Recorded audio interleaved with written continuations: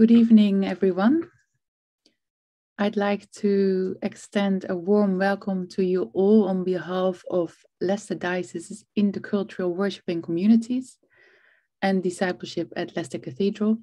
My name is Miriam and I'm the discipleship officer at Leicester Cathedral. So welcome to the fourth webinar in our Global Voices series. This evening we are focusing on images of God. And I'd like to open the webinar with a short story about my family. It was in August 2020 when our family enjoyed a short break in France. While we were there, we visited the Basilica of Notre Dame in the little town of Liesse. And there, between the beautiful and imposing depiction, depictions of Jesus, surrounded by adoring figures of cherubs stood a rather diminutive statue of a virgin and child.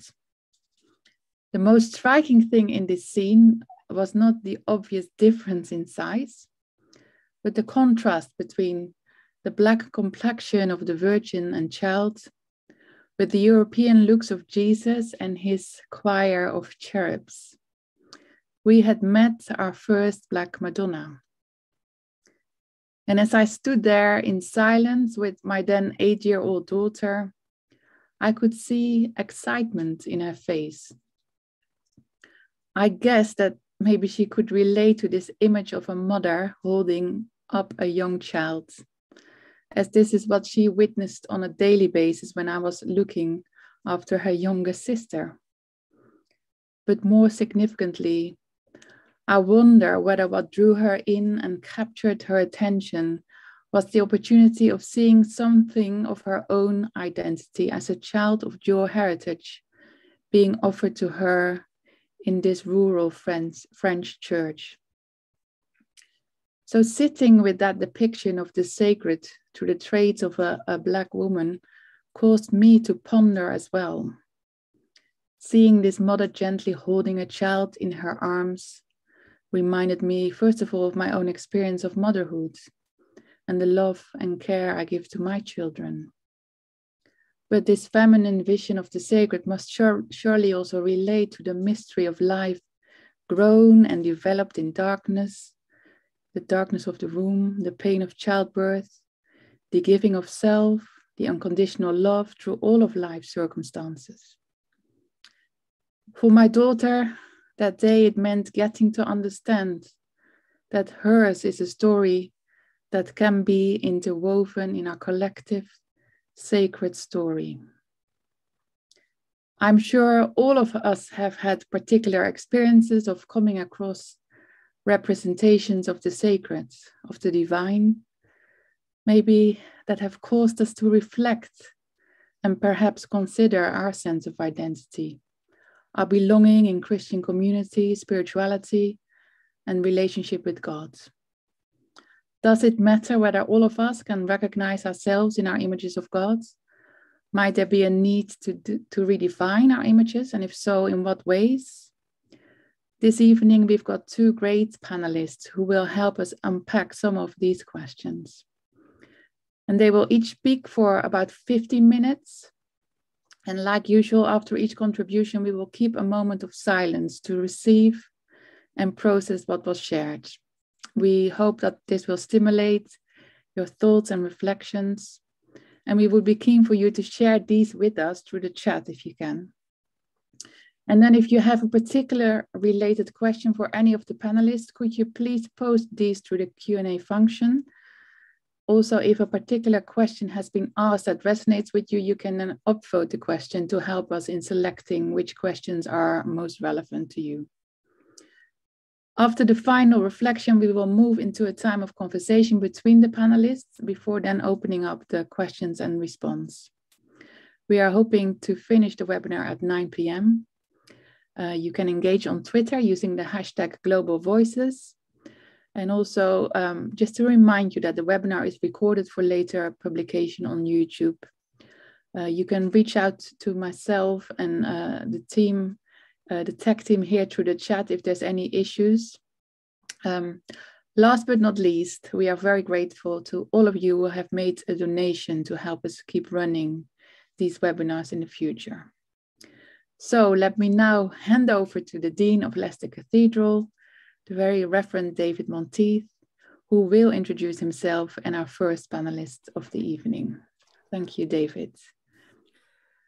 Thanks, Miriam. Lovely to be with uh, everybody this evening. I'm David Monteith, the Dean of Leicester, and uh, part of uh, the privilege of my uh, role at the moment is to steward something of the past and to try and help people interpret it uh, with responsibility and wisdom. But also, cathedrals as places of um, art and beauty are also places that create new images as well. So, both those things are important to me in the work that we do here at Leicester Cathedral.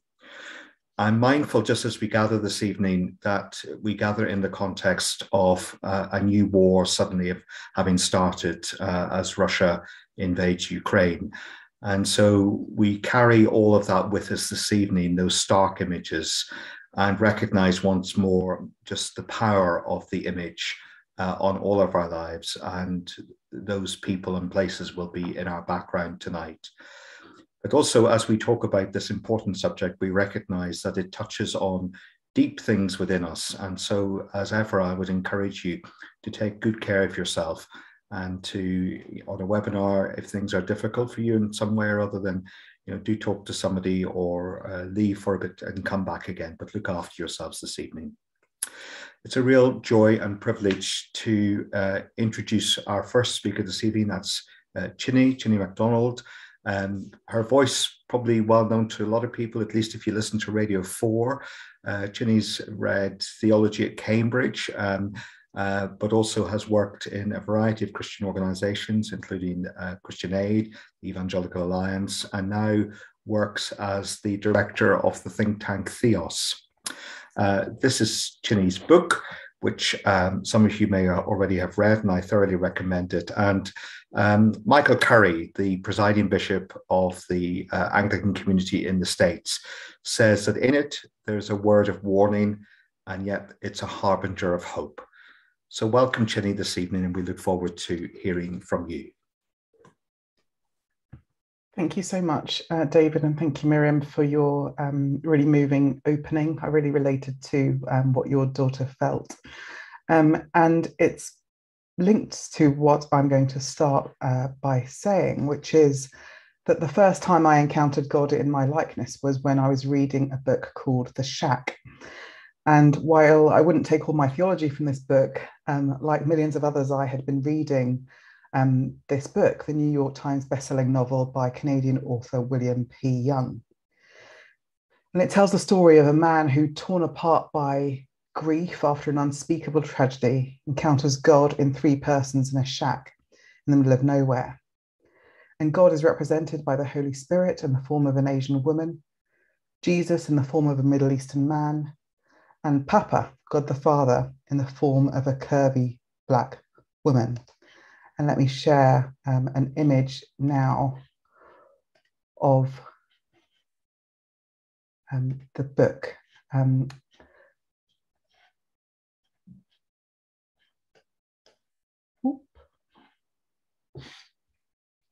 so you'll see Octavia Spencer there, um, who plays God the Father, Papa, in the film. So I had been reading this book um, and those who had read the book were careful not to give spoilers. So when I encountered Papa in the pages of the book, I was left open mouthed because I'd never imagined God to be portrayed in this way. I remember when I got to those pages, I called my mum, who had read the book before me. And we were on the phone, we were excited and we were overwhelmed, yet we were also, there were also moments of being speechless, of silence, because God looked just like us. And when Octavia Spencer um, played God the Father in the film, she'd also played, uh, ironically, a maid, Minnie Jackson, in the civil rights film The Help. It was amazing to see go, her going from The Help to the Almighty. And seeing her on screen brought it home to me even more because here she was, a beautiful, curvy black woman playing God. And it's hard to describe what this meant to us. It's not that I think God is a black woman. it wasn't something we'd ever called for or even consciously thought about. But there was something truly liberating in seeing, even for that short period, a God in whom we could really see ourselves. In those brief moments of revelation, I realized that it did matter to me what God looked like. It was more than just about preference and political correctness, but something that ran deep through the Christian story of incarnation and the Imago Dei. While I could kind of conceive of God as not being white after seeing this depiction, it had never occurred to me, really, that Jesus wasn't white. And by the time I woke up to this fact, it was far too late to reconfigure this image that I had of Jesus in my mind. And if I'm being honest, despite the books, despite the book that I've written, despite the talks that I've done, when I picture Jesus, I think of a piercing blue, piercing blue-eyed man with a brown beard and sandy neck-length hair. He looks a little bit like Robert Powell did in the 1977 Jesus of Nazareth film. He doesn't look ordinary, but he definitely looks white. So that means that at times when I've pictured Christ on a cross, when I've cried out to him in my darkest moments, when I've prayed to him for those things that I've desired most, when I've sung praise to him in worship, I've pictured a man who never existed. The Jesus I have clung to most of my life is a falsehood, a symbol created by the effect of white supremacist fiction. God is not a white man. And this revelation is painful and brings with it a realization that white supremacy has found its way into the most sacred place Although it's painful, um, the realization that Jesus was not white has also brought with it a profound sense of liberation, freeing my mind from this idea of whiteness as synonymous with the divine. Most who have read the Bible um, or know any part of its history, whether they believe in Jesus or not, know that the incarnate God in human form would have looked like a man from what we, we have come to call the Middle East born in Bethlehem. And as I'm sure many of you have, I've been fortunate enough to visit that wonderful holy place and meet its people, each a different shade of brown. But the, the Jesus that I picture, even to this day, looks nothing like them. White Jesus is the logical consequence of a world that values whiteness as supreme the most famous artworks picturing Jesus from Salvador Dali's Christ of St. John of the Cross to Holman Hunt's The Light of the World to Leonardo da Vinci's Salvator Mundi depict him as white with long hair and a beard. And this image is still the only one I have of Jesus, a consequence of having seen thousands of images of Christ represented in this way throughout my life. And unseeing and reimagining white Christ in the minds of believers is almost impossible. Because in a world where whiteness is power, then of course, an omnipotent, all knowing God must be white, because God could be nothing else. I think that the um, image head of Christ might have something to do with um, this. So I'll just share this image just for a few moments um, with us. Hopefully you can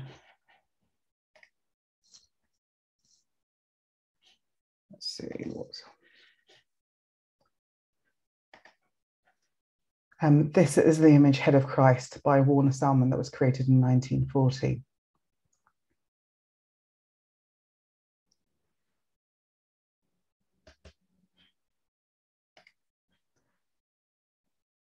And this image will be very familiar to, to many of us. It depicts uh, an almost archetypal Christ, and it's Jesus, but with an extra dash of USA. And he looks a little bit like he could be in a 1990s Levi's advert. His blonde hair wavy, his perfectly shaped beard, and his piercing blue eyes staring up at something in the distance. And there's this light of a lamp or candle illuminating the background. And this image has been described as the best known American artwork of the 20th, 20th century. And it's been reproduced more than a billion times worldwide. Sallman's head of Christ is, of course, not the only depiction of Jesus resembling a white European. In fact, this is the form that's become most recognizable to people across the globe, not just in uh, white majority Western contexts, for centuries. And this archetypal depiction of Jesus that we see today is thought to have originated in the fourth century during the Byzantine era, when the image of an enthroned emperor with long hair and beard came to be the predominant way of representing Jesus. And much later on, this evolved into the, the types of representations of Jesus we see today. But why does it matter? It can be easy for people to fall into the trap of thinking that white Jesus makes sense in a white majority context. But the problem is that images like the head of Christ are pervasive all throughout the world. The image can be found in Christian homes in places like Nigeria, where I'm from, or India or China, for example. White Jesus is the consequence of a number of Western historical, theological, and sociological prejudices that were so fundamental to the notion of white superiority that Christ could not have been anything but white. And one of the main factors, argues theologian Shawn Kelley, author of a book called Racializing Jesus, is that 18th century German theologians argued among themselves about the ideas that, on one hand, Christ was ordinary, and on the other hand, he was completely otherworldly. So, placed within this historical context of first century Palestine, Jesus could be seen as an essentially Jewish figure whose teachings were in line with those of other Jewish sages of the time. But those who wanted to downplay the ordinariness of Jesus and elevate his unique divinity, subsequently became more anti Judaism in their descriptions and their depictions of Jesus. And some theologians sought then to offer various solutions that stood Jesus apart from his Palestinianness and his Jewishness. And this led to the idea that instead Jesus was, in fact, racially Aryan, so set apart from his Jewishness, his brownness, and his so called ordinariness. So white Jesus became a way of emphasizing Christ's divinity as, as distinct from the brownness of his historical context. So images of Jesus became less and less Jewish and more and more white as Christianity spread from the Middle East to Europe. And it wasn't until I watched a documentary on the BBC when I was a teenager that I properly took notice of the fact that the representations of Christ so ingrained in my mind didn't reflect the historical reality of his probable appearance. In the programme, anthropologist Richard Neave used a skull found in the region of Galilee to create a model of what Jesus might have looked like. And what they came up with was not beautiful by the Western standards that we have been conned into thinking are objectively so. Um, but since nowhere in scripture does it suggest that Jesus looked physically different from those around him, we can assume that he looked similar to the average Galilean man of his day and, and Neave's reconstruction in the BBC documentary. But unseeing and reimagining white Christ in the minds of believers is almost impossible. In a world where whiteness is power, then of course, God had to be white. There's just another dimension that I want to bring in, which is, um, uh, I guess, the um, some of the, the theologies around um, white evangelicalism in particular. Um, Robert P. Jones writes in a book called White Too Long that the emphasis on a personal relationship with Jesus that is front and center in white evangelicalism only served to cement the depiction of Christ as white. While one of the main tenets of Protestant Christianity is this idea that we don't require a church, uh, a, a, priest uh, as a mediator in order for us to have a relationship with God. Modern Western evangelicalism can at times give the impression that this relationship with Jesus is like one we might have with a brother or even a boyfriend. As Jones puts it, whites simply couldn't conceive of owing their salvation to a representative of what they considered an inferior race. And a non white Jesus would render impossible the intimate relationalism necessary for the evangelical paradigm to function. No proper white Christian would let a brown man come into their hearts or submit themselves to be a disciple of a swarthy Semite. So, where do we go from here? What does this mean for us in our churches, and in our depictions of Jesus. What can we do practically? I think one obvious thing we can do is diversify the images of God and Christ we see in our churches. Um, I want to share with you, um, just for a few moments at the end, an image um, called A Last Supper by Lorna May Wadsworth, in which it depicts a Black Christ. And images like this and many other similar types of images can help expand our view of God rather than limit our view of God by putting God in a narrowly defined box. Are diversifying our images enough? Clearly not. But I think we need to look at the people who are in our churches, look at who is leading and serving and contributing, and look at them to demonstrate the wonderful diversity of the kingdom of God. Expanding our view not just of images, but of who God is, bigger and greater and more welcoming and more expansive than we could ever imagine. I'll end with sharing the image by Lorna May Wadsworth. Hopefully, you'll be able to see it. Um,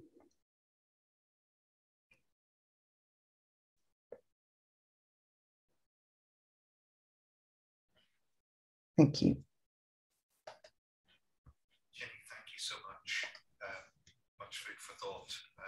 Just to remind you that you can put comments generally in the chat, or if you've got questions that we want to um, consider a little bit later, then put them in the Q&A.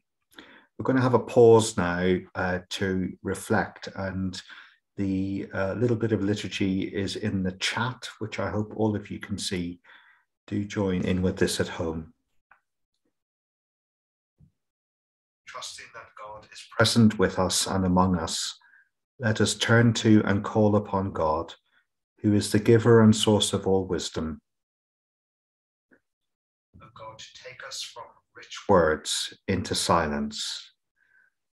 Let us listen together for your wisdom.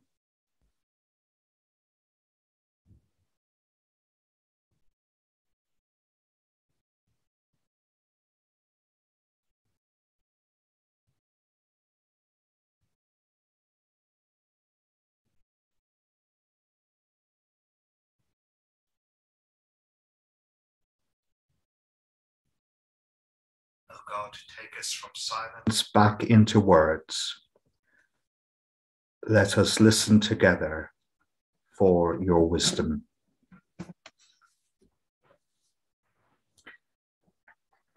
Thank you. We're going to hear uh, now from uh, Dr. Renie Choy, uh, who uh, teaches and uh, is a tutor at St. Mellitus Theological College in London um, has studied around the world. And uh, Chine went to Cambridge, while uh, Renie went to Oxford. So we have both of those universities represented here. Uh, Renie's background is particularly focused on um, medieval studies and uh, particularly medieval Christianity, which, of course, in terms of that discipline, uh, is shaped very much by European imagination. But her work also then uh, thinks further about that in terms of uh, uh, post colonial reading of that. And she examines uh, the meanings of what post colonialism might. Uh, uh, the, the, ways in which it might be understood. And presently, she's working with cathedrals and churches on some of those projects, particularly in relation to their art and images around their buildings. Archbishop Andrew Chow uh, from Hong Kong said that people uh, from places peripheral to Europe still find in that origins a spiritual base or land for their faith. So, welcome to uh, Renie this evening, who's going to help us reflect on this further. Thank you very much. David, for that uh, wonderful introduction. And I'm very grateful for this chance to discuss an important question with you all. Uh, how do we respond to the church's inheritances that are tied to culture? That's really what this webinar tonight is about, isn't it? We can never capture the essence of God in our images of God. And so to bluntly answer the question posed by this webinar, from a strictly theological point of view, our images of God don't matter in any um, essential sort of way, because how we imagine God is always going to be an interweaving of our personal, confessional, ethnic, and cultural identities. We can't pick these apart and say that we can produce images of God that are immune from cultural influences. And this is precisely the problem we're faced with what to do with religious inheritances that have been woven with cultural inheritances, some of these problematic. So I'll begin with observing that when many of us look at an image of God as a white man, something strange happens. Uh, Chine has used the example of Holman Hunt's Light of the World. So I'll talk about this painting too, specifically the version um, at St. Paul's Cathedral. I hope you can see that. Is that okay? Um, if it's not, um, please just uh, unmute and let me know. Um, Jesus here is a fair skinned man with long blonde hair. And when we look at this painting, we recognize it instantaneously as a Christian subject. The title of the painting tells us Jesus is the light of the world. The Bible verse at the bottom explains Jesus is knocking at the door, waiting for us to invite him in. It's an image that inspires a response of faith, of devotion. The painting leads us to prayer. And this is why St. Paul's Cathedral put this painting up as an altarpiece in a chapel, although currently it's been covered up due to refurbishment. And then abruptly, without warning, we notice the racial dimension Jesus is blonde and white, and I am yellow with black hair. It's an intrusive, unwelcome moment. And it's not just race. It might be that we suddenly notice the depiction of masculinity or physical ability or the assumptions about beauty. In that split second, an image of God goes from being a devotional opportunity, something to help us pray, to being a problem, something that is alienating or makes us feel overlooked and uncomfortable. What has happened to make me start from a point of engagement of prayer and faith to disengagement, walking away and saying, This art is for certain people only? There is a historic explanation for our devotional instinct, why, at first, an image of Jesus as a white man can inspire our faith. This very painting was taken on a tour through the British Empire between 1905 and 1907 to show viewers around the empire about the glories of English art and religion. Crowds flocked to see it. The work inspired many copies throughout the British Empire and was soon used by missionary organizations even outside of the British Empire. One of these was the Sunday School Union, which produced this evangelistic poster in China as a call to conversion using Holman Hunt's Light of the World. The imperial and global export of this image has created some dilemmas. For me, as someone born in British ruled Hong Kong, whose parents were Christianized under the influence of British missionaries, I can't deny that England is a spiritual homeland that explains the roots of my religious identity everything from the hymns I know to the sorts of phrases I use when I pray to the theological literature I read. And this means it's very difficult for me to see God through an East Asian aesthetic because Christianity has come down to me through the West, owing to colonialism and globalization. And this is why decolonizing or diversifying our images of God, though vitally important and crucial, doesn't solve all of our problems. Like it or not, the fact is that for many of us, our religious roots do lie in the Western tradition. And to reject images of white Jesus means we'd have to reject most of what's in the National Gallery and the whole genre of gift books, which draw from the canon of Western art to inspire reflection and prayer. And to bring in newer, more diverse images of God is important, but it doesn't address the fundamental problem of what to do with our older images of God, which we have inherited historically. And this is why I think that now, more than ever, in contemporary battles about colonial legacies, it's crucial for us to engage with the church's cultural output, not to disengage. The problem is that the cultural output of Christianity is often associated with a privileged, established demographic. And calling pieces like Hunt's painting an English treasure, equating it with ethnicity and nationalism, is precisely the sort of thing which leads diasporic communities to say, well, this has nothing to do with us. And this applies more widely to all people who have felt that the high culture of the church isn't for them because of barriers having to do not only with race and ethnicity, but also with class or sexuality, gender, ability. It's much easier for us to ignore the church's cultural history and not engage. But this would be to surrender the church's history to the elite. Are marginalized people only good for diversity programs, for new initiatives, for producing new art of Black or Asian Jesus? Are canonical works like Holman Hunt's painting to remain high culture reserved for the elite only? No, marginalized groups should have the confidence, authority, and opportunity to be today's interpreters of the Western Christian tradition. The things we've inherited, like paintings of white Jesus, must be reinterpreted through the eyes of the marginalized to ensure global experiences change the way the image is seen and who is imagined viewing it and who gets to interpret its meaning and importance. What does it mean to reinterpret our images of white Jesus, which are so abundant and so celebrated, so monumental, so established in our religious inheritance? It means inserting our own histories into a master narrative that's long been dominated by the established class, to assert that the story of Western Christian, Christianity is our story too, to expand our collective memory of these pieces, to change official interpretations about what these paintings mean.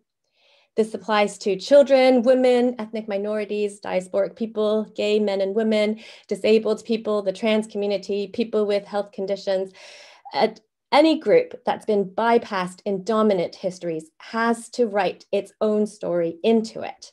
And this is what Willie Jennings has called fragment work. It's a deeply Christian calling because it has to do with recovery and redemption and renewal rather than outright rejection.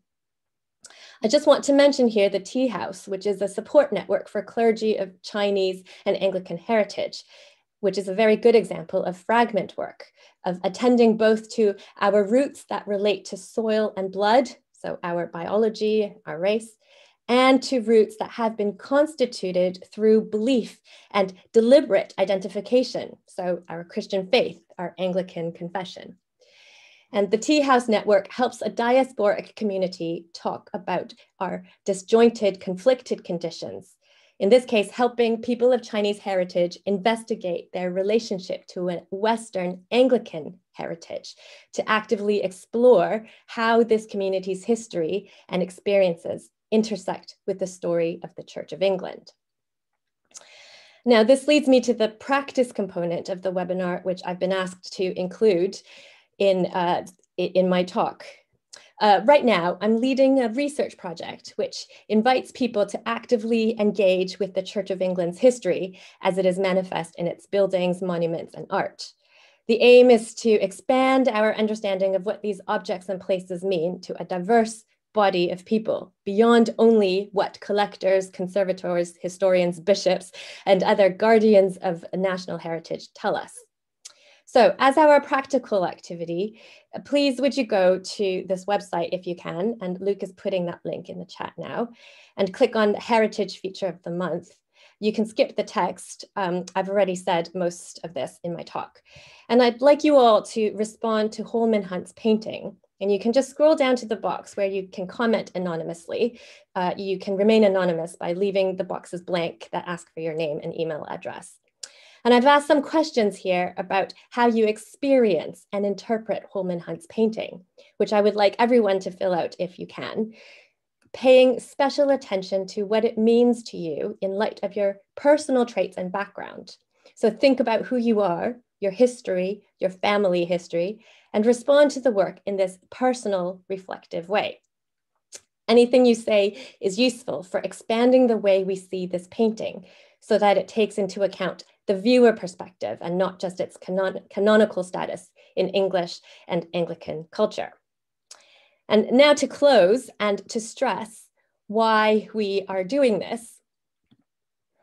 Verses like 2 Corinthians 3:18, which talks about the church collectively being transformed into the image of God from glory to glory, or Colossians 3:10, which talks about God's people being renewed according to the image of the creator. These verses tell us that even more important than our images of God is our collective transformation into his image. This means that when confronting a historically and culturally bound image of God, like Holman Hunt's, how we work through the dilemmas and tensions they raise as the people of God is actually a very crucial part of being transformed into his image. Historically and culturally bound images of God are part of the church's inheritance. And by working through these inheritances together with all their problems and dilemmas, we see each other better and expand our view of the image of God through expanding our view of one another. So I'll end here and um, leave it to the Dean to uh, decide how much time or whether there is any time to give you to respond. Thanks, Renie. Um, very much indeed. Um, as we did before, we'll just have a little pause again to uh, reflect on what Renie has said, and we'll use the little liturgy to do it, which you'll find in the chat still. Trusting that God is present with us and among us, let us turn to and call upon God, who is the giver and source of all wisdom. O God, take us from rich words into silence. Let us listen together for your wisdom.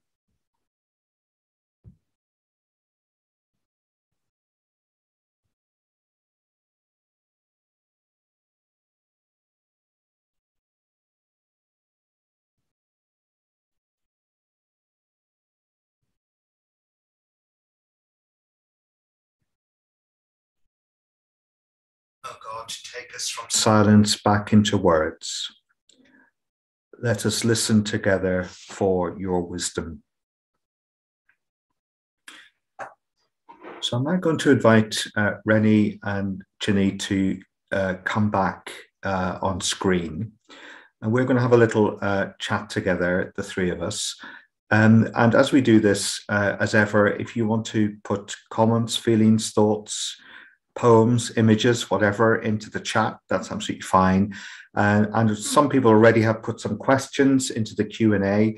Please continue to do that. And you can vote up the questions. In other words, you can kind of um, uh, help the group decide uh, where we'll really focus our attention.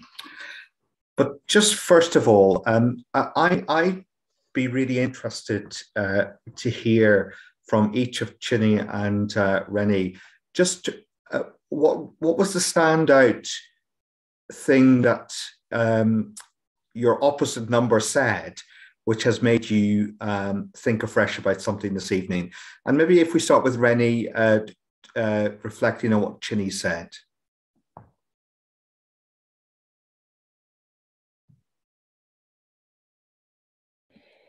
Um, well, instinctively, I would say, uh, uh, because this is the phrase I um, typed in um, at least two times, um, unseeing and reimagining is almost impossible in a world where whiteness is, is power.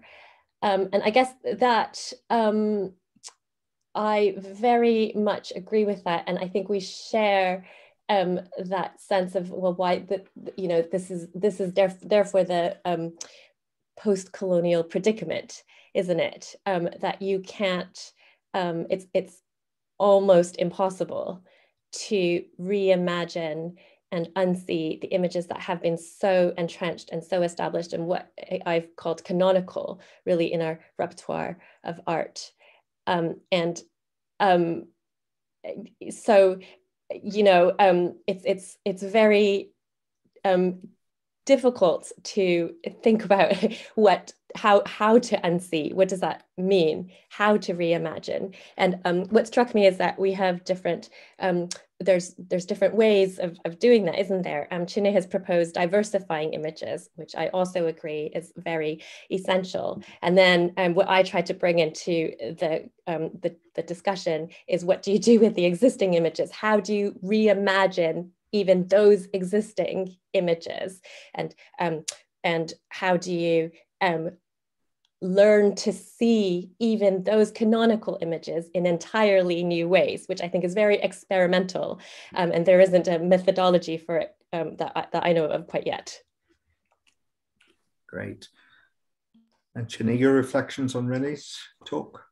Yes, um, I feel like we could go off in lots of different directions, even just from from those reflections. But I think what I was what I've taken from um, Renie's book and and thinking about what what she said was this idea of, um, yeah, not rejecting necessarily those those white images, but expanding, and that idea of inserting our own histories into those places where um, uh, pe- people's who have been marginalized where where their group where their voices have been not heard. And that includes race that includes gender that includes sexuality that includes um, the, the kind of uh, physical ability that, or the broad spectrum of voices that have been excluded um, from these kind of canonical um, uh, works. And that I'd, I'd not heard of that um, Willie Jennings's idea about fragment work um, before and how we um, how we do that and how we redeem those images. And I think that that's a really interesting um, concept because I, I guess there can be a danger in this kind of work that we're doing. Um, and in, in, you know, in me thinking and exploring some of these images is to see those uh, canonical images as inherently bad because they are white. But still, you know, my favorite image of Jesus is Dali's Christ of St. John of the Cross. It's a stunning uh, piece of art. So what actually um, does that mean? I can never look at that piece of art again, or actually, what does what does a black woman, uh, first second generation Nigerian British, looking at that image? Um, how can I interpret that in a new way and bring my own, own voice into that? So yeah, there's um, lots of interesting stuff from what Renie was saying around that expanding one of the things which struck me in listening to both of you was to note afresh the power of the image. And um, and particularly um, I mean at one level that's not surprising but of course at another level um, you know Christianity and Judaism has had a quite a convoluted relationship with image um, and particularly with God and image. Um, and and yet I think many of us continue to find routes to God and indeed obstacles to God through image. So I'm just wondering, uh, and particularly in a culture like ours, which is very powerfully shaped by image, you know, um, I still haven't quite mastered the mysteries of Instagram, but the rest of the world has. It's clearly important to people. Um, so I'm just wondering, um, kind of are you saying that we need to pay more attention to image, or are both of you saying th- that image gets us into too deep of a problem, really? So um, I'm an Instagrammer. I, I, I, I think that images are powerful. Um, I think that um, I guess there are two, two, two sides. So I think in, images have power and how can we um, reimagine those images um, but i also think there's something inherent in christianity itself that is about incarnation. So the kind of the invisible becoming visible. Um, Jesus um, is God made into an image um, that we could see and touch. Um, the problem is when that image has been um, distorted in some, something that it, it was not in order to um, make out that whiteness was supreme. So that, that's where the problem is. I think there's on, on one hand, we need to, um, Christianity itself is a, is, is about incarnation and image. And actually we should celebrate the beauty of that image, those images. However, on the other hand, there's a part of me that thinks when it comes to God rather than Jesus, there's something powerful in not imagining God or imaging God as a human or a you know a person like us or whether it's that's black or white because to me again God um, it makes God smaller potentially. Um, so the point of Jesus was an incarnation God in human form. Um, but I was struck a couple of years ago when I spoke at a primary school um, online and I asked them what do you think God looks like? Um, and I thought they would say Father Christmas. Um, but they said, um, it was like a year five class, and they said, I think God looks like a ball of energy, or I think God looks like a yin yang sign. And it completely blew my mind that these children had kind of almost like a, a, a better understanding of the kind of a concept of God as not like a human uh, and potentially bigger and um, more mysterious. Um, so I think there's there's two there's two sides for me. So, Renie, do you think that is image too much of a problem for us, or should we go with the cultural instinct that image is a brilliant way of communicating? Um, yeah, what a great question. Um, I mean, it just from a strictly, you know, biblical um, point of view, um, you know, um, not to render graven images of God um, as, as you know, as, as a commandment. Um, so in a way, um, because we're not, the emphasis is not on um, how we create an image of God or whether um, the image um, accurately captures who he is or um, an image as a sort of, um, well, at, at, least from the perspective of Anglicans and traditional Protestant thought, images are not a sort of conduit um, to the divine um, as such. Um, but what the Bible is very clear on is that um, we are the image of God, right? And um, I think in the context of a lot of the passages, it's also um, it, there's an ecclesiological um, emphasis to that. So it's a collective we um, imaging God. So it, in that sense, I think the image images um, are crucial. But what is the image we're looking for? Is it a physical image? Is it um, an Instagrammable, um, you know, um, a cool, hip um, sort of image um, that we that we want, um, or is it about what's happening, what the image, I guess the relationship between the, the people who are viewing um, the image. I guess what I want to say is, in a way, we have to turn um, the question on its head um, so what are we doing right now, us, all of us, um, to be the image of God?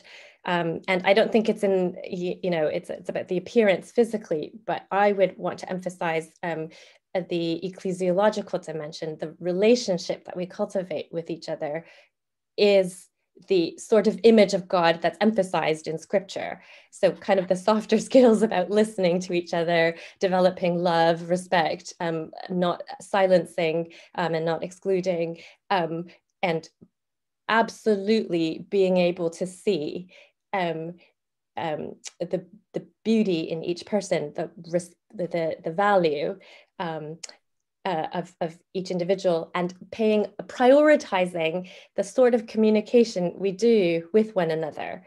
That um, to me at least um, is is is the emphasis um, for what images are what an image of god is. Thank you. And, and certainly i recognize um, in, in all of this. I, I remember when I was uh, sort of in my teens and as a young adult, there was a, a great concern, and, and of course still is a great concern about you know the strong emphasis on the language of God as Father when so many people's experience of earthly fathers might have been abusive or harmful in some kind of a way, and so the need to uh, work then with other images which are also scriptural. Um, so there's something about the diversity of images in scripture itself and the story of God in all its richness and, and, and diversity. And in the same way as I, you know, I think about um, like sunflowers, Van Gogh's sunflowers.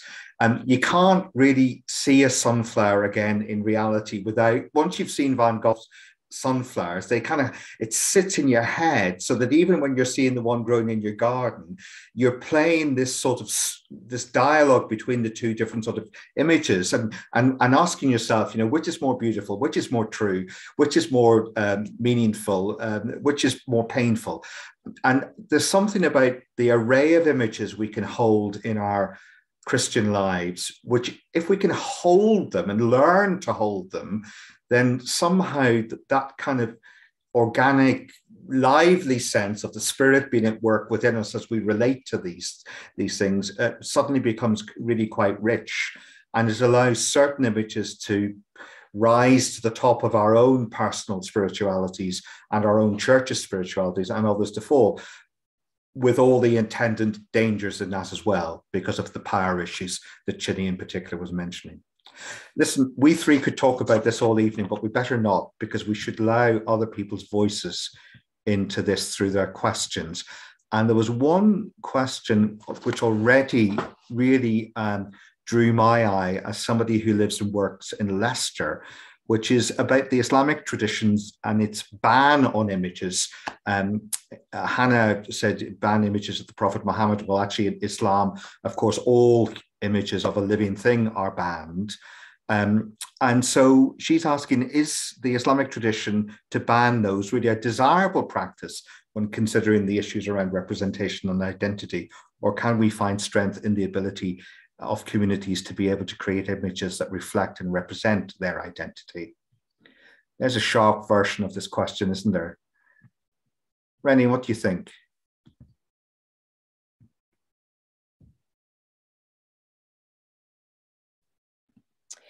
Yeah, I've always considered um, images in the Christian tradition to be an expression of faith, of Christian faith. So um, it, we're not iconoclasts um, because we don't hold to the same belief of what the images are doing. So, um, like I said before, um, we um, even in um, very um, sacramental traditions, there is um, there is a very strict um, um, kind of distinction drawn between you know um, the image as a way to inspire faith, as a way to be close to holiness, much like a relic would be versus um, actually um, um, some kind of, um, of the image as having been transformed into a divine substance itself. And so on that um, basis, um, within the Protestant tradition, we have never um, banned images because they are an expression of Christian faith. And so I think that allows for a lot of diversity of representation because people are um, imagining God in uh, their ways, which um, you know um, are culturally and historically and personally bound, um, um but all of it can be taken um, much like um, you know phrases we might use in prayer or songs we might compose for worship, and that's kind of been the function of images, at least within the the Protestant tradition. Okay, well, I'm going to take that on another step with Chine and come specifically to this question of um, a white Jesus and whether or not that is intrinsically wrong. Uh, and there's a related question to this. Somebody's uh, talking about the fact that in Christianity, truth's important. Uh, Rosalind said this, and therefore was asking shouldn't any image of Jesus himself be as realistic as possible to his earthly image? without reinterpretation. So that those are kind of related things, aren't they? Chine, I wonder if you'd respond. Yeah, just just firstly and briefly on on um, Islam's um, uh, ban, I guess, of of images. I've often been asked this question, and I guess um, I it would be something to replicate if it let if it leads to an inclusive and diverse faith. And I don't think that um, we see that example as a result of not having images um, of the Prophet Muhammad. Uh, so I think, uh, so I, I, don't think necessarily that that is that, that is the answer. And as Renie said, it's it's kind of inherent almost in our Christian faith. It's an expression of our Christian faith. Um, white Jesus, um, yes, I think um, either Jesus should be represented as um, a Middle Eastern uh, brown Jewish person, and that was um, that was who God chose. Uh, uh, God could have chosen any kind of any race or nation in which to be born into. Um, but yeah, that was the one kind of historically and accurately that was chosen. So either we just have images of um, Middle Eastern Jesus, or we have a, a diversity, a full spectrum of um, images from different cultures that represent and symbolize the incarnation, God becoming like us, and what whoever that us is. So whether that's an us um, uh, in in China or a, an us in Nigeria or an us in Syria or wherever it is. Um, I think the problem is that that's not what's happened. and what's happened is in those places, in Nigeria, um, in China, in Syria, the predominant images of Jesus are of, of someone who is other from from those communities. So, what does that say about Christianity? It, it exacerbates this idea that Christianity is from another place, and God is from of those people, and we're kind of being invited into a story, but God is not, and we are not part of that story. Um, so, uh, and often I hear people say, well, obviously we have white Jesus in the UK and in America because it's predominantly white white nations, and actually every culture represents Jesus in their own way. Um, and that's just not true. That's because of the pervasiveness of white supremacy globally.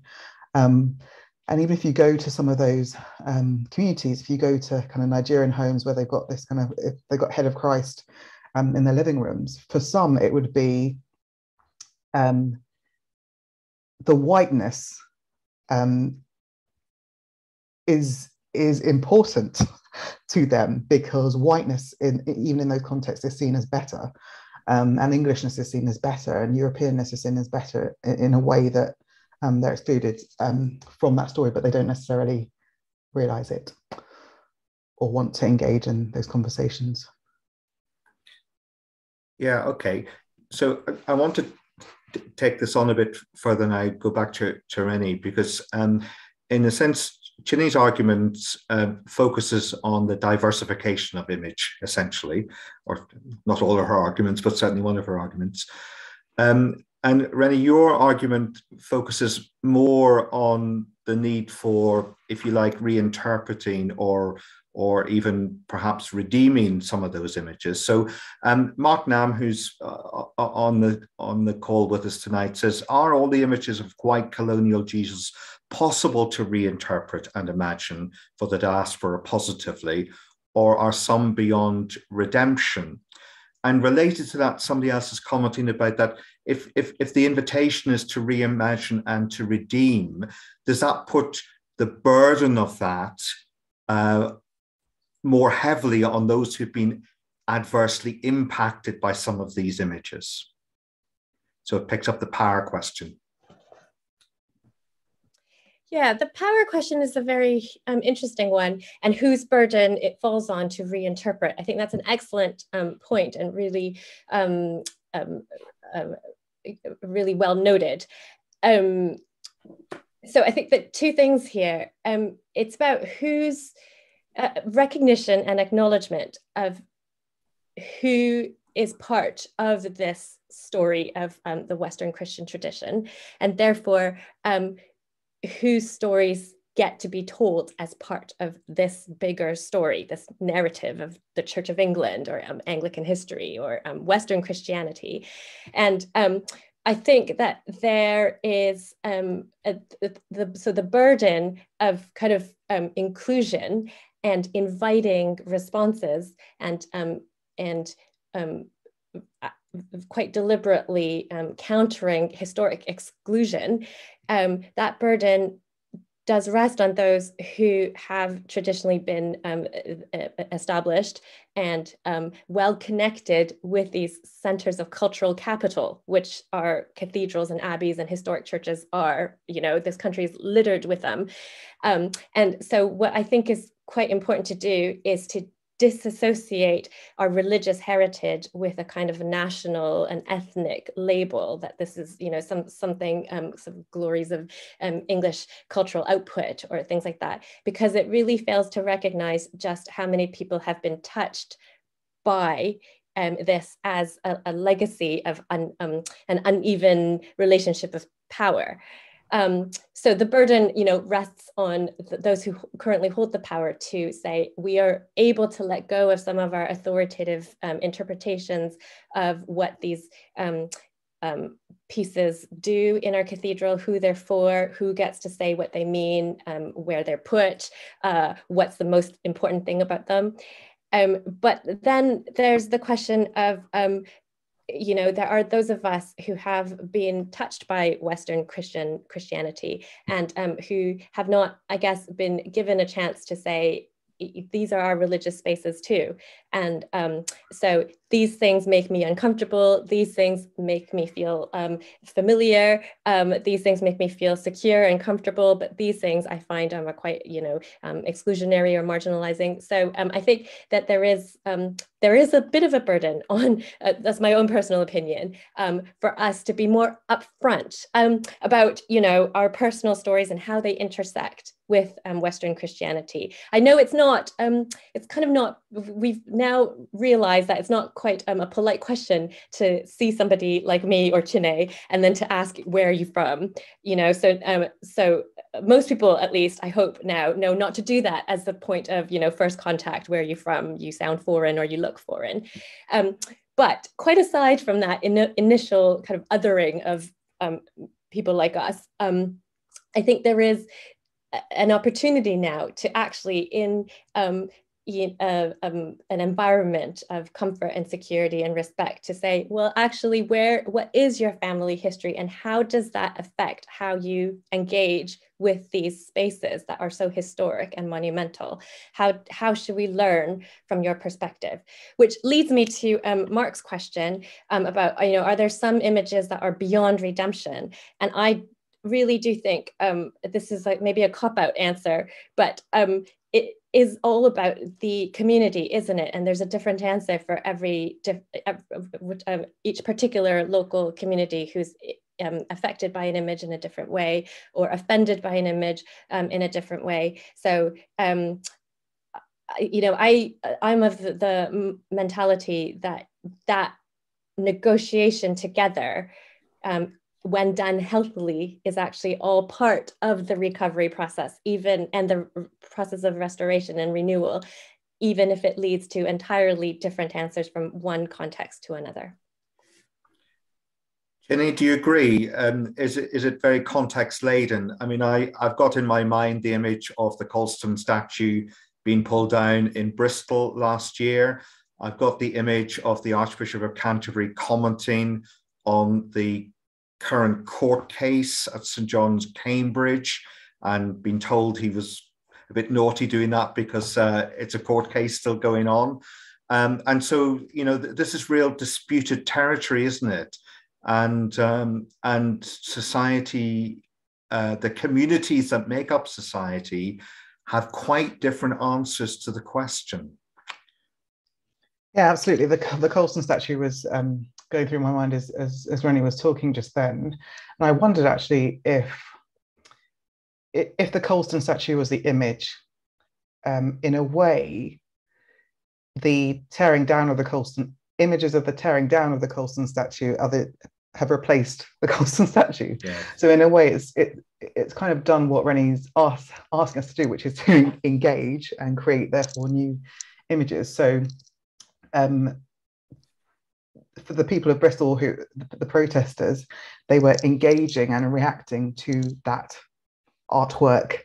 Um, and the response was to pull it down. So that is a legitimate response, um, or to engage or be angry about it is a legitimate response. Um, so I think, um, yes, uh, I'd agree. I'd agree with that. Um, and around the, yeah, around the context as well being significant. Um, I guess also what I'm reflecting on is um, the appetite of the communities themselves to want to redeem those images or to create new images. Because if I think about if I think about my grandmother, um, I don't think she would see any need to re-engage or, or reinterpret white images of Jesus because she would see no problem with that. So we can make assumptions that some communities want to create their own images. Um, and it can be patronizing to suggest, well, they don't really understand, um, they don't really understand the incarnation or um, these kind of complex ideas around kind of uh, internalized uh, colonization or all these kinds of things. Um, but that those are legitimate responses as well. And for my family, um, my great grandfather was an Anglican priest in Nigeria, and um, he was ordained in 1940 and he and my great grandmother used to run a school for Christian wives. Um, and when Nigerian women, just before they were uh, going to get married, they would come and stay at the school to learn what it meant to be good Christian wives. But what that meant, in effect, was that they learned how to um, bake cakes, uh, how to drink tea, how to dress like English women, um, because Christianity was intertwined with Englishness and whiteness, and uh, it was all about kind of this. When you became a Christian um, in Nigeria at that time, you were walking away from your um, indigenous religions. Um, you were kind of because they were seen as um, wrong. Um, so you're walking out of those, out of the kind of backwards um, cultures that you've been part of, into this kind of almost like whiteness, uh, middle classness, Anglicanism. Um, and now for me, as the great granddaughter, that is profoundly problematic. um, but there is something around um, countries like Nigeria who, uh, or kind of the Windrush generation, who see English English history as their history too, um, and and kind of they don't necessarily see the problems that that I might see. Um, specifically, uh, I want to uh, take us into the um, deeper into the whiteness question. And particularly, uh, V. Pinto has um, asked about uh, particularly the contrast um, within our spiritual traditions between black and white, uh, the light and darkness, the day and night, and so on. Uh, it's used metaphorically, and the contrast symbolizes the moral dichotomy of good and evil. White often represented as God, angelic, purity, morality, black often being used to represent evil, the devil, nothingness, or absence. Uh, she asks, How may we move away from using such unhelpful metaphors? Renie.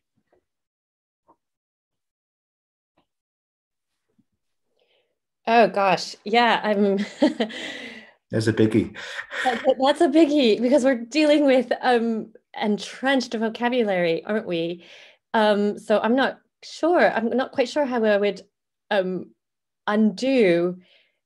Uh, you know, what, what is a way to actually overturn um, such entrenched language, and um, you know, even broader than light, dark, black, white. Um, you know, it's it just even uh, all the trouble we have with knowing how to actually um, uh, with the terminology we use um, to describe, um, you know, people of color, um, communities, UK uh, ethnic minority, minority ethnic, uh, global heritage people. I mean, um, so really how to label things um, and describe things and get away from and people um, and get away from the associations um, i think it's a really um, big task which i think personally is why i'm a big um, uh, I'm very much in favor of having you know, transnational approaches um, and getting away from any sort of um, boundaried um, labels in the first place. Um, but I, I actually I don't know the answer to that. I'm afraid. I think it is. Yeah, it's obviously really really difficult one because the language is so entrenched and and we we can chart back you know through history and through kind of literature why certain kind of phrases or terms around colors were used kind of negatively and positive positively. But I think I even noticed in, in Miriam's opening where she talked about um, the darkness of the womb or something. Um, and, you know, in if you're talking about the kind of safety and the comfort for a for a for a child growing in its mother's womb and that dark, darkness and that's a positive that's a positive way of using that word to me. It's not a it's not a negative it's not a, a scary um, darkness. So there are it is possible to try to try and use language to alter perceptions uh, that feel entrenched but can be used in in in different ways. Um, i think we have to um, just try. Um, but i also think that sometimes things can go a little bit far when people talk about you know i don't know if this is real but you know the daily mail stories about people nurseries banning blah blah black sheep or things like that because because of the word black is is um is seen in a certain way. So yeah I, I think we can sometimes go a bit too far and a bit too literal when it comes to kind of words around blackness and whiteness um but also we can be more creative um and not be stuck in the past when it comes to how we just use those descriptions and descriptors. I, uh, the question made me uh, uh, remember uh, an old friend, John Hull, Professor John Hull, who uh, uh, has died, but he he did a lot of work on um, being a Christian and being a person who became blind in his adult life, and similarly looking at that, uh, so much of that imagery about you know blindness being moral blindness and um, the inability to receive God's gifts and all of that. So, but of course, he also uh, he very helpfully pointed out that verse from Psalms that. Um, uh, in God, light and dark are both alike to these uh, sort of thing. So, so even some of the our human experiences to to mine the scriptures for actually images that that address us in new ways, which we ha- haven't maybe been giving such attention. I mean, uh, you, Chine, you mentioned the Miriam's use of the of the womb womb imagery, and of course, th- that is there in, in, different parts of Scripture and so on. And and so maybe there are are clues to redemption of some of these things, even within the existing Christian tradition um, but our hermeneutics have become very clouded by our own much narrower experience, perhaps. Um, and, and somebody was asking um, uh, this whole business about how good is it to have God actually imaged as ourselves anyway? Um, uh, because isn't isn't the point of God that God is completely other than us? Uh, and that's a really profound question to, to ask. Um, um, but it's a tricky one, isn't it? Because God is also made clear to us in a person who did have a history and a skin color and a face and, and all the rest of it. So, what do, what do you think about that? How helpful is it in the end for us to image God looking like us? Renie?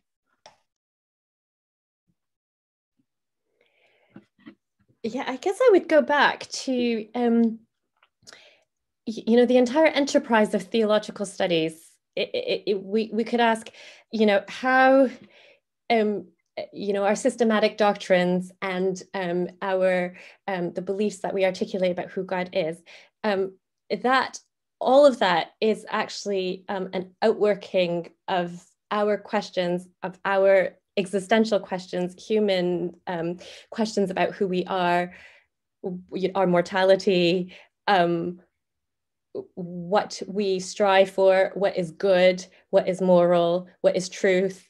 Um, you know what is this that's around us and what do we aim for in life and how do we relate to each other? You know all these kinds of questions that are actually driven um, from the only language we know, which is um, our, our, human language and our human experiences. So, our language of God will always be conditioned and restricted in a way by our humanity, right? And that's just um, that's kind of the number one thing that we acknowledge when we start out with um, any theological study, um, that it's a reflective practice at the same time. So, I think in the same way, uh, visual images of God work in much the same manner, um, so that it's an attempt to work out what it is that we believe. And so that means that in visual art and depictions, you might emphasize different things. You know, some people may emphasize transcendence, some people may emphasize judgment, some people, some artists may emphasize um, fear or, you know, um, death, um, sacrifice, you know, um, loss, and then others may emphasize victory and triumph and glory and um, and or charity, love, relationship. I mean, these are all ways that we have. That this explains the diversity of the images we have of divinity and of the Godhead. And um, so, therefore, it is really a, a kind of a record of how humans have tried to um, understand and articulate God and to work out some very fundamental questions, um, you, you, know, um, about how humans have been. I mean, I think um, going from what Chine has said as well, where we are in history now, um, I think some of our images of God, you know, where we need to push it and where, you know, what what kind of questions do they express about human existence today? Um, we need to think more about these um, questions about how we've hurt one another and how we've been um, damaged by one another. And so, um, you know, Chagall's um, white crucifix comes to mind, where this is a, this is um, an attempt to kind of um, grapple with divinity in a way that acknowledges and admits human error and human wrong. So he, you know, is trying to depict um, atrocities that have been committed um, toward Jews um, as a background, a backdrop to the crucifix. And I think that, you know, working out what human existence means in this space, in this time, in 2022, amidst a war um, and the conflicts that are happening right now and today that are shocking and um, horrifying, um, you know, this this is all part of what the theological enterprise is. Chine, any additional comments from you on that? Um, I think I keep, you know, going back to that moment in which I saw, uh, in which I read The Shack, um, and that moment in which I, for the first time, saw or read about a God that looked like me. Now, I had heard all my life that I was made in the image of God, um, I had heard all my life around the incarnation about God becoming like us, but it wasn't until that moment where I actually felt that in somewhere in my kind of inner being. And there is something profound about that. Now I realize that um, I have been able to read a, a, you know a New York Times best-selling book where God looks like me, but I've never seen an image of God um, in a wheelchair uh, I've never seen a of God uh, uh, in in lots of different ways that are not kind of me. So it's not just about race. Um, I think being able to see images of God in which you can see yourself in some way um, go to the heart of what it is to understand what the Christian faith is about, which for me is around God becoming like us and about incarnation. Um, I know I keep saying it, but I think that that that is the whole point. Uh, it's not just about political correctness um, and it's not just about diversity and inclusion it's about what is what is this faith that we profess what what is it that we believe um, and if we believe that it's okay um, for um, um, white men to be able to predominantly see God as looking like themselves, um, uh, then that to me means God is smaller. And more limited and and not as open armed as uh, the God that we read about um, in the Bible. Thank you. That fits really well with um, uh, I think three people uh, have been um, um wondering about um, the nature of the representation of the sacred which is also about human embodiment. And so, um, and you've already touched on this, Chine. What, what's our views on the need for sacred imagery to intentionally attend to the inclusion of marginalized expressions of human embodiment? So, Chine, you mentioned that in terms of disability. Um, uh, Renie, I wonder, other how do you respond to that? Is, is this is this a, is this a, a task for the church?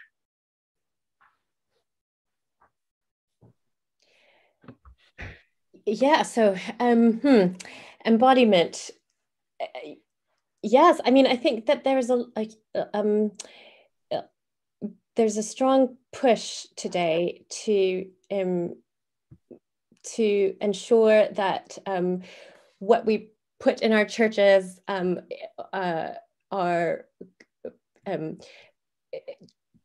um, represent community and are participatory in nature. So that you know that um, they kind of break the link um, that we have um, between um, um, maleness and um, um, and ethnicity, whiteness, um, with with um, what's visible, you know, um, so who gets heard and what gets seen.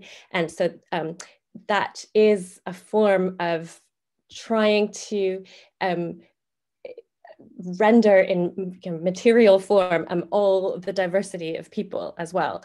Um, so participation um, as a way to um, make sure to to to um, to fully render visible all the people who make up a community.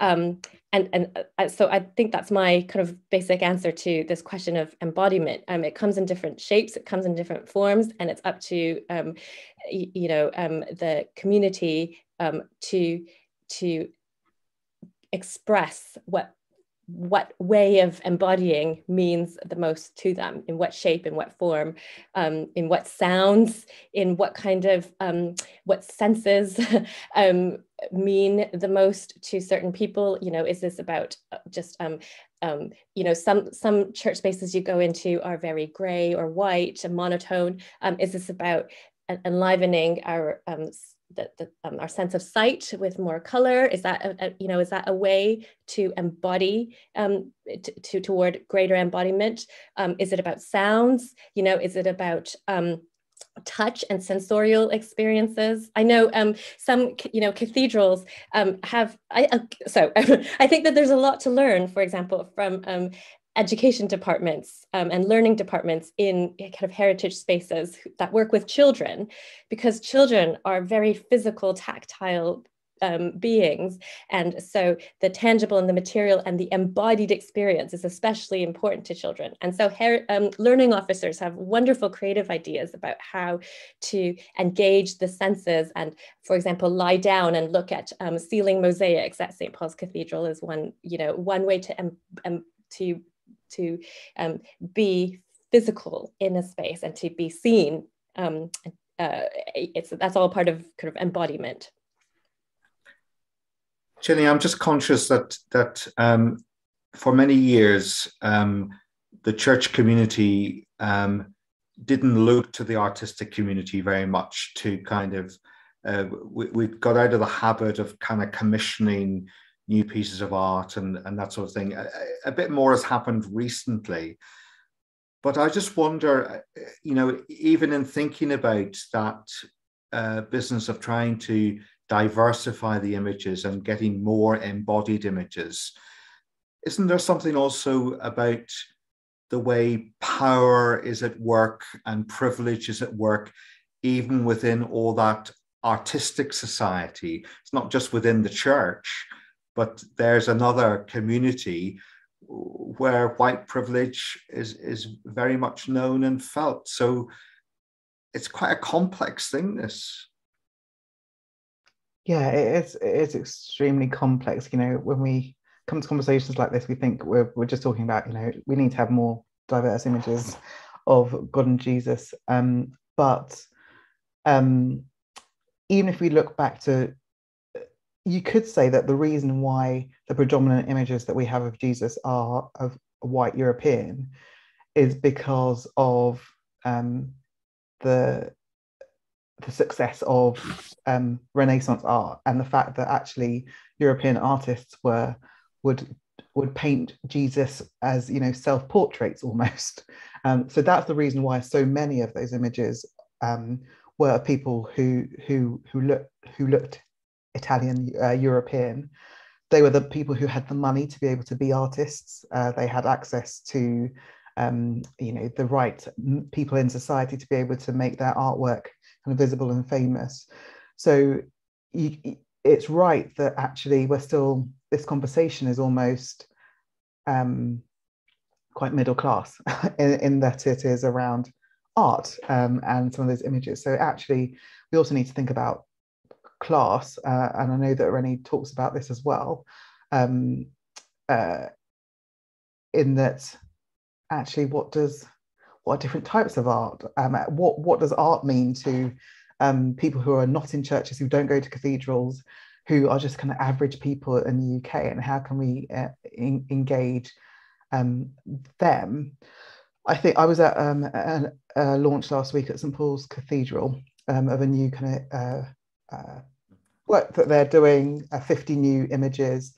There was a, a, Nigerian artist who had created this amazing uh, new image that was marking 125 years since the uh, uh, sacking of Benin City. And that is doing exactly what we have been talking about, which is kind of reinterpreting uh, a, a hist- history um, through the eyes of someone who is Nigerian, so someone who was on the receiving end of something that kind of um, was celebrated in, in, in the UK. And I found that a profoundly moving event because I was surrounded by Nigerian people like me. Normally, I'm at St. Paul's Cathedral a lot. Normally, I don't see a lot of Nigerians there. Um, but it was still kind of middle class Nigerians or, or people who engage in artworks and who can get invited to those things. So we need to kind of broaden um, the conversation and invite new voices, new people in. Thank you. Um, I think I need to be a very good um, moderator at this moment and, and do what I'm supposed to do, which is hand back to, to Miriam, who's going to um, help draw our evening to a close because it's very nearly nine o'clock. Miriam. Thank you, David, and thank you so much, Chine and Renie. Um, it's been great listening to the conversation and also the engagement uh, of the audience in the chat and the Q&A. Thank you so much. Thank you for joining us this evening. I really hope, we hope it was a helpful space for you and has inspired you to explore new perspectives and voices as you expand your knowledge and experience of who God is. I'd like to actually finish with a, a quote by Cole Arthur Riley, who's also known as the Black Liturgist.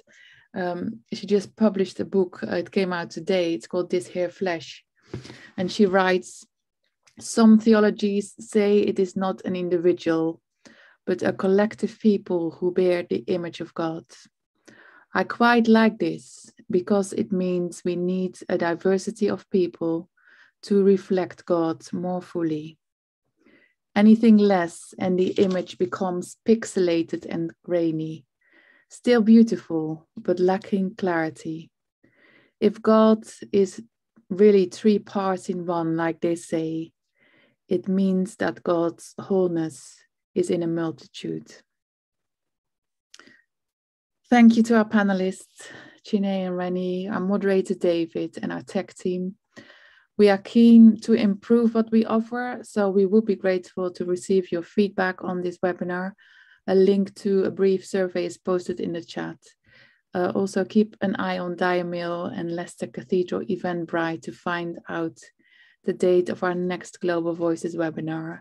It will most likely be in October, the 12th of October, but this will be confirmed. Thank you, everyone, and uh, see you very soon. Just before everybody goes, can I just say a huge thank you to Miriam?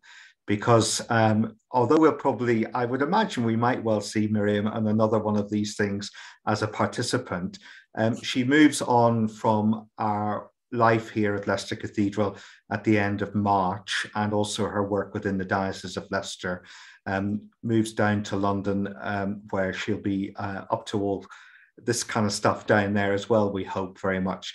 But all of these conversations wouldn't have happened without Miriam's imagination, theological wisdom, and great planning and organization.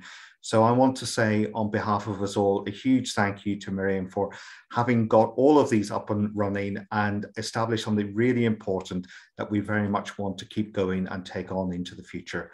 Thank you very much, Miriam. Thank you, David.